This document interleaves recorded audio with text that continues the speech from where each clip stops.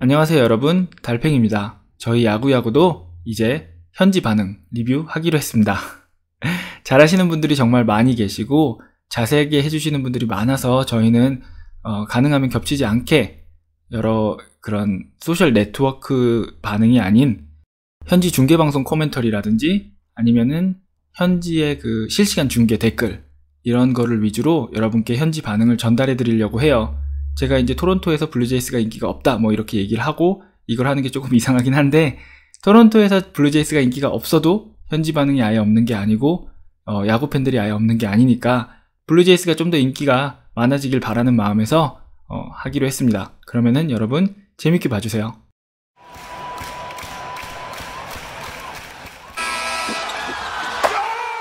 토론토 현지 및 이제 캐나다 중계는 스포츠넷 1이라는 채널을 통해서 하는데요.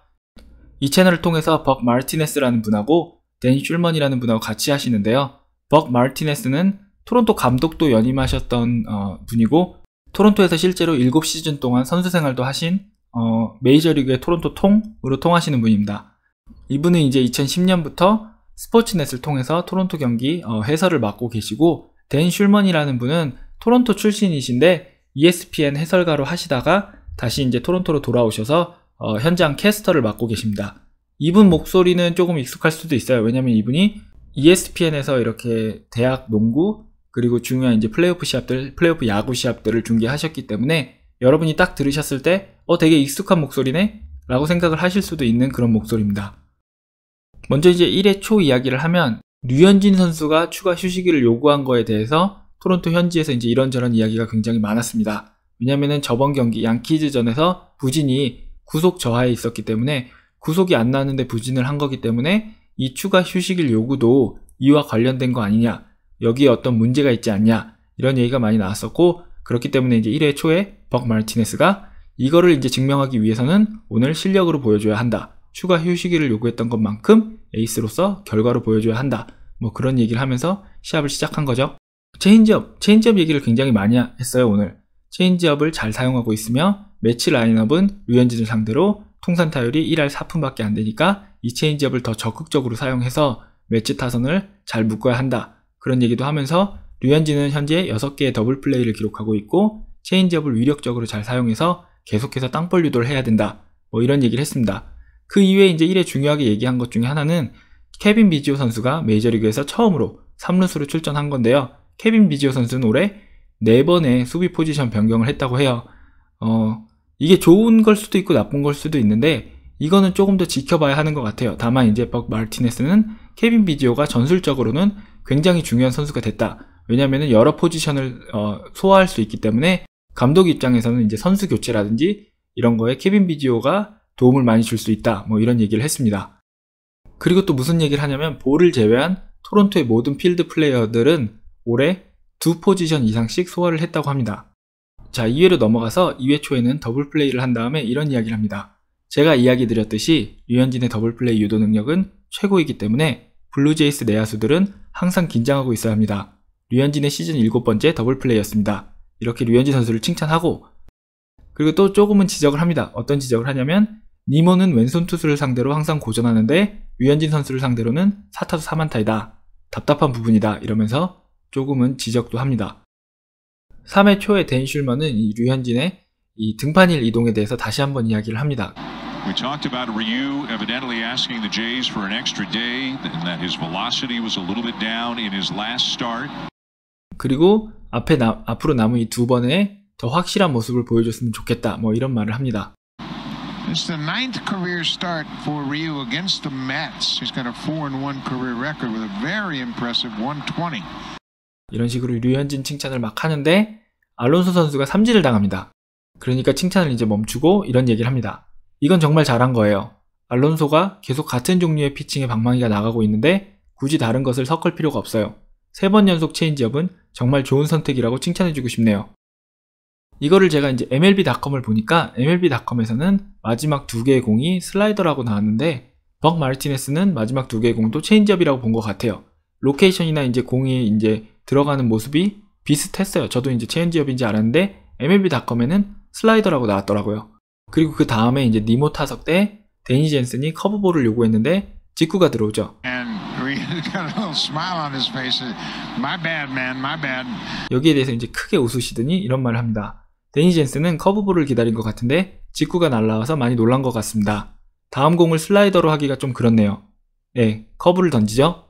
포수로서는 커브볼을 기다리는데 저런 공이 날라오면 놀라는 것도 놀라는 거지만 정말 100파운드 망치로 한 대 맞은 충격이에요. 기대하지 않은 공이었기에 몸이 놀랍니다. 그래도 그런데도 불구하고 젠슨이 잘 막았다 칭찬을 합니다. 그리고 5회는 어, 별 말이 없었고요. 안타수 얘기를 다시 합니다. 안타수 차이가 8대 3인데도 토론토가 2대 1로 이기고 있습니다. 바람이 많이 불기 때문에 그리척 선수가 공을 잡기 위해서 많은 거리를 이동해야 했네요. 그래도 잘 잡아내면서 아웃을 잡습니다. 이러면서 이제 안타수 차이를 얘기하면서도 류현진 선수를 다시 이제 칭찬을 하죠. 6회 초에는 다시 류현진의 위기 관리 능력을 이제 칭찬을 하면서 어떤 얘기를 하냐면 류현진이 토론토에게는 가장 완벽한 에이스일지도 모릅니다. 그가 지난 몇 년간 쌓은 포스트 시즌 경험이 분명 이번 시즌 토론토의 젊은 선수들에게 큰 도움이 될 겁니다. 라면서 팀의 리더로서 젊은 선수들에게 이제 멘토가 되는 역할을 잘 수행해야 된다는 이런 얘기를 합니다. 여기까지가 오늘 이제 토론토 커멘터리 중에 류현진 선수 관련 언급한 이제 얘기를 모은 것이었고 이제부터는 실시간 댓글이죠. 지금 보시는 거는 이제 1회에 류현진 선수가 이제 실점을 할 때 스트라이크 판정에 대해서 이제 토론토 팬들이 불만이 되게 많았어요. 어, 살펴보시면 ump is drugged up. 그러니까 무슨 얘기냐면 ump는 이제 umpire 심판이고 주심이고 drugged up은 이제 약을 빨았다는 얘기죠. 그러니까 속된 말로 한국말로 심판이 약 빨았네 이 얘기죠. 그리고 이제 그 바로 다음 댓글이 and strike 3. Oh wait, the ump is fucking blind. 예, 이 말은 이분은 이제 스트라이크 3인지 알고 스트라이크 3라고 얘기를 했다가 어 잠깐만 심판이 장님이네 이 얘기를 한 거죠. 그리고 또 그 위에도 that should have been strike 3 그거는 스트라이크 3가 됐어야만 했어 라고 또 얘기를 한 거고 또 그 위에 허 이제 어 그렇네 뭐 그런 얘기죠. 다음 댓글은 이제 beer and dart라는 이제 아이디를 쓰시는 분이 I like today's lineup 그러면서 그래도 하나 고칠 게 있으면 에스피나를 9번 타자에 넣고 컬크 알레한드로 컬크죠.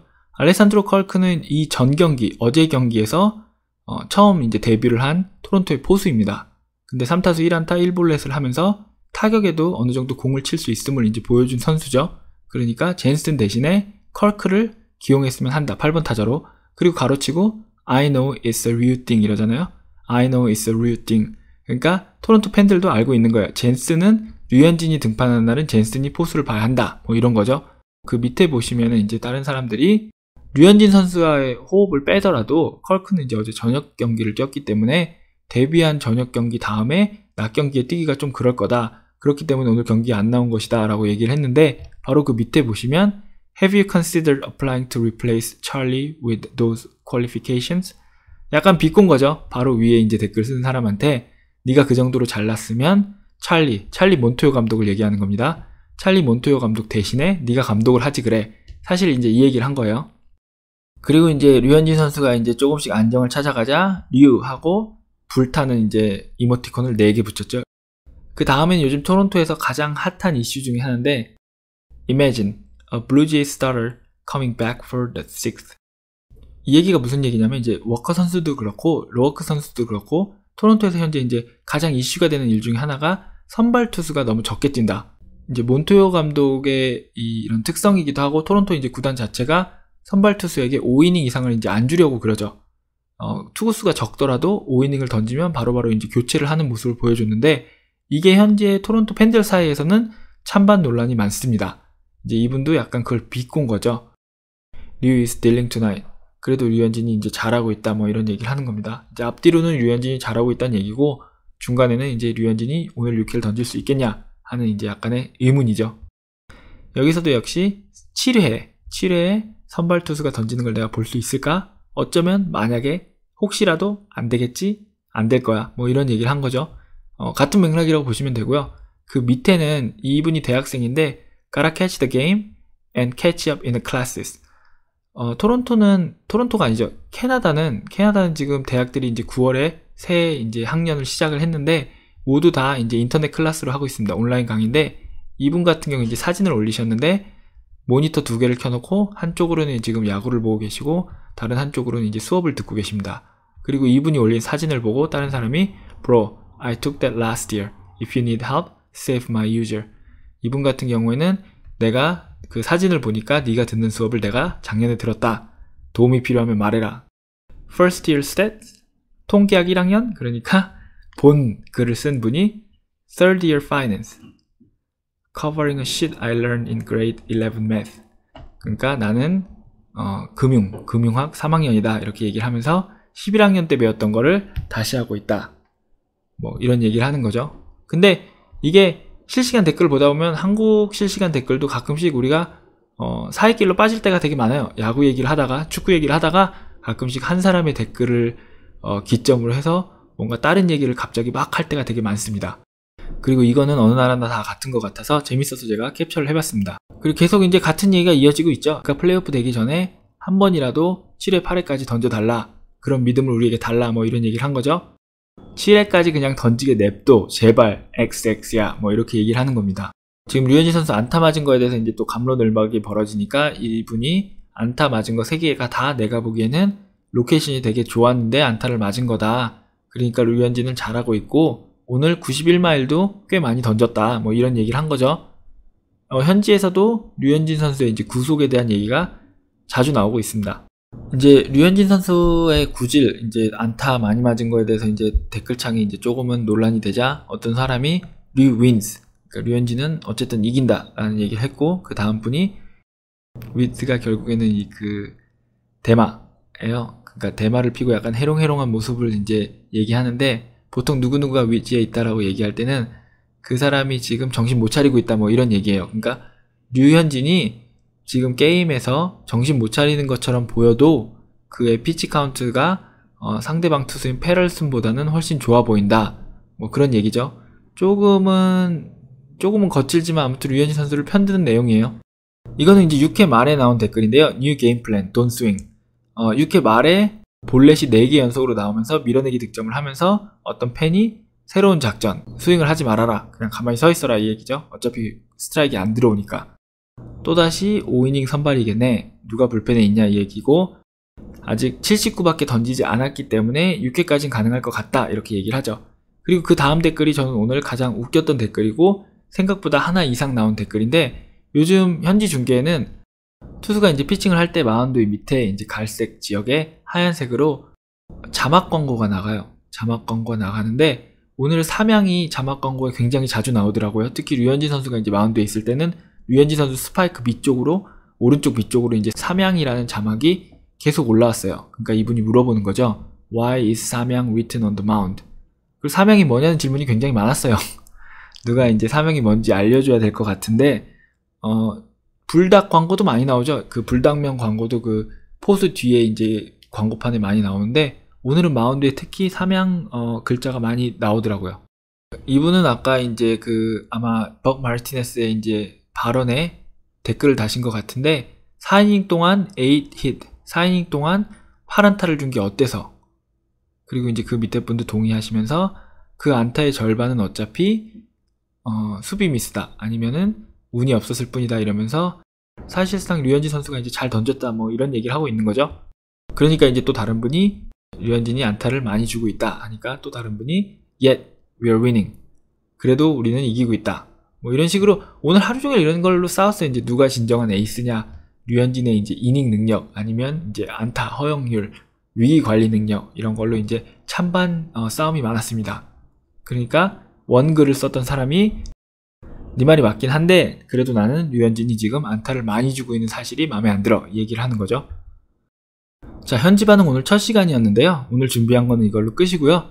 여러분이 이제 재밌게 보시고 어, 여러분이 이제 피드백도 주시면 제가 조금 더 개선해서 좀 더 여러분이 재밌게 보실 수 있는 내용으로 조금 더 즐길 수 있는 내용으로 이 현지 반응도 점점 더 개선을 해 나가도록 하겠습니다. 어, 여러분 첫 시간인데 재밌게 보셨기를 바라고요. 다음번 류현진 시합 때 또 찾아뵙겠습니다. 여러분 좋은 하루 되세요.